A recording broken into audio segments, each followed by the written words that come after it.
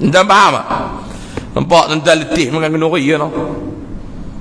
Tapi perasan tak? Trik ni, cuti trik ni Orang tak apa nak menikah. Allah dulu tuan-tuan dia kata cuti sekolah lah Dia menikah. Bagi kita tak ada nak pergi makan Kenduri. Cuti kali ni dia ada Bukan tak ada kenduri kahwin. Ada. Tapi tak apa nak ramai Tak apa nak banyak. Kenduri kahwin tak apa nak banyak. Saya cek-cek lepas kata siapa yang tak apa nak banyak Ustaz. Saya tanya lepas awak yang kenuri kahwin tak apa nak banyak.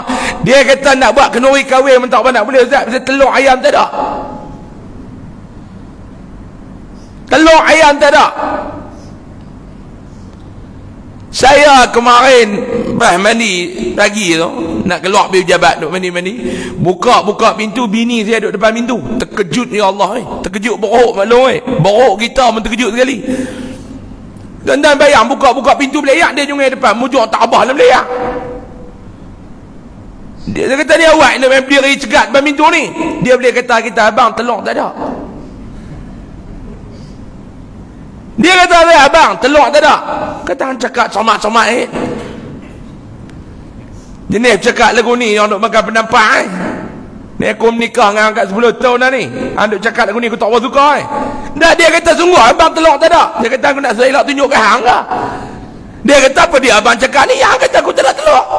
Dak telur dekat dapur tak ada. Han cakap bagi habis. Telur ayam bukan telur aku, telur ayam tak ada. Lah krisis telur ayam tak ada belum. Saya duk lobby dah nak jadi menteri pertanian dan keterjaminan makanan tapi tak dapat. Kalau saya duduk tentu selesai masalah, telur ayam tak ada, telur saya saya bagi ke ayat tuan-tuan. Bila tak lekat. Ni yang nak buat kenduri kahwin, bab tu tuan-tuan tengoklah bunga telur tak apa ada, bunga ada, telur tak ada. Dulu kan kita pergi kenduri kahwin tu balik bunga telur. Ingat? Hak tu pun dia kena tengok. Darjat rumah kenduri ni lain tu. Tuan-tuan pergi kenuri kahwin ni tahu kenuri kahwin. Darjat rumah kenuri ni lain Pak Long Dia tengok darjat kita. Kalau mai yang YB YB, Allah, kereta berik depan rumah kenuri. Pak pengantin turun pergi sambut. Bawa YB ni mai makan dengan pengantin. Kaya Tangkap gamak perak perak perak perak nak balik. Pak pengantin bagi tu bunga telur dua. Buat balik YB telur dia dengan telur ayam empat biji buat balik. Cuba main orang kampung bodoh ni gerek ni. Tak ada apa ni. Dah lah kampung lah tuan.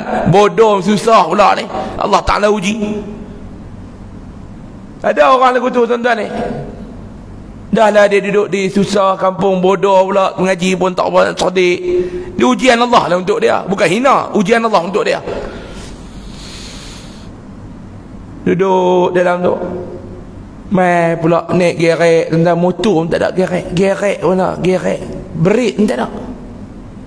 Sampai atas rumah kenuri tu turun kaki tu. Berit tu. Cerah tapak selipar. Mai dengan anak dah ada berit tak ada. Motor tak ada tinggal gerek. Gerek berit tak ada. Sampai-sampai tongkat pun tak ada patah. Sandak aku pokok pisang tu tu. Orang lagu ni ada tak bapak pengantin nak main sambut buat makan dengan pengantin tak ada. Ah, Mi makan. Pergi ambil ini raya makanan makan dua beranak ujung tu apa. Balik mau tak pergi apa. Buat balik telur dia buat main tak tak. Tu dulu lah. Lah nak kenuri telur pun tak ada. Tu yang kenuri tak apa nak banyak lah ni. Tapi nampak tuan-tuan lagu letih macam kenuri banyak. Tak ada saya tak apa ada kenuri hari ni satu pun tak ada. Hak minggu lepas lah banyak lapan. Lapan kenuri haram satu pun saya tak pergi senang. Duk pening nak pi yang mana nak pi yang mana pi yang ni yang ni tak kena pi yang ni yang ni tak kena pi yang ni lah dia tak pi langsung sana. Satu kenuri RM50 kena 8 jenuh syarah malam tu tuan-tuan nak cover balik. Ni yang tamam Nabi kata ni Allah Taala cabut akhir zaman ni. Kata Imam Ghazali orang yang mulut lidah dia mampu membawa manusia lain ingat kepada Allah Subhanahu wa taala. Ini yang pertama tuan-tuan. Siapa yang Allah Ta'ala anugerahkan mulut lidah yang senantiasa ingat kepada Allah. Yang ni ni khairad dunia wal akhirah dia dapat. Kebaikan dunia dan akhirat.